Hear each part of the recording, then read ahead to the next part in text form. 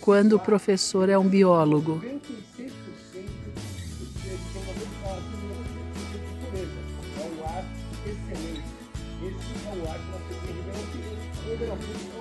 Este é o Lucas Bertoldo, professor, Ciências, Biologia, Colégio Totti.